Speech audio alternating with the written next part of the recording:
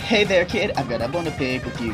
But you know that the things that I'd rather do. Honestly, now what were you expecting? That you get a satisfying ending? Now tell me, why did you think that you'd get that? After all the terrible things you've done, you brat. No, no, you're going to have a bad time, and to rub it in, I'll do it all in rhyme first, my bro. You got through him like it was nothing. Then Undyne, that fight was sure something. Mettaton, well, it one was kinda lame, and everyone besides that I could say the same. Well, you mad, bro? I'm really not that hard. It's a wonder how you got this far. Honestly, I've only got one HP, so why are you still losing and fighting me?